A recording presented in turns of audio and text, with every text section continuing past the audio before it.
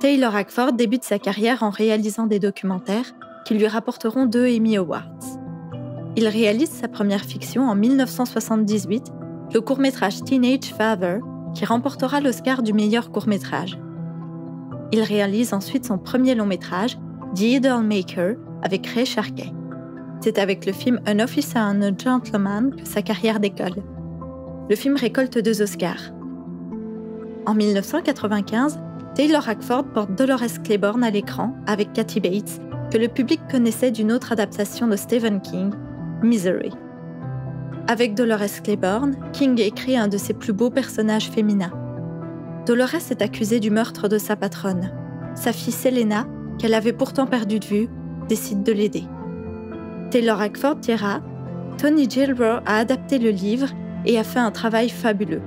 Le personnage de Jennifer Jason Lee n'existe pas dans le livre. Tony a réalisé que l'histoire était assez peu cinématographique, alors il a créé un scénario original pour la moitié du film. Et l'autre partie était déjà dans le livre, notamment le personnage de Dolores, qui vient entièrement de Stephen King. Le film est un succès critique et devenu culte auprès des fans de King. En 1998, Taylor Hackford réalise L'Associé du Diable avec Keanu Reeves et Al Pacino. Et en 2005, il fait parler de lui avec son film biographique sur Red Charles, pour lequel Jamie Foxx obtient l'Oscar du meilleur acteur.